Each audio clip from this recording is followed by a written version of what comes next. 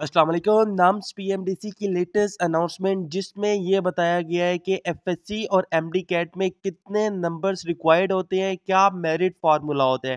पहले हम बात कर लेते हैं पीएमडीसी की, फिर हम बात करेंगे नम्स की। पीएमडीसी का जो एग्रीगेट होगा 50 परसेंट एम कैट है 40 परसेंट है और 10 परसेंट मैट्रिक है। अब आपको मैट्रिक में एफएससी में एमडी कैट में कितने नंबर चाहिए तो आप इस पिक्चर को डिटेल के साथ देख सकते हैं। अगर आप पैरेलल तैयारी करना चाहते हैं नम्स और एमडी कैट दोनों टेस्टों के साथ साथ ऑनलाइन। तो पाकिस्तान की सबसे बेहतरीन अकेडमी, जिसके सबसे बेहतरीन रिज़ल्ट और सबसे अफोर्डेबल फ़ीस है तो अभी zero three one zero double four six eight six three one पर रब्ता करें। अगर हम नम्स की बात करें तो नम्स के अंदर सबसे ज़्यादा वेटेज दी जाती है एम डी कैट को। सेवेंटी परसेंट नम्स की टेस्ट की वेटेज होगी, जबकि थर्टी परसेंट जो वेटेज होगी, वो एफ़ एस सी एग्ज़ाम की होगी। तो एफ़ एस सी में और नम्स एम डी कैट में कितने नंबर चाहिए? नम्स का जो टोटल जो टेस्ट होता है, उसमें one fifty M C Q's होते हैं। वन ट्वेंटी से ऊपर वाला पास है, उससे कम वाला जो सा फेल तस्वर किया जाता है।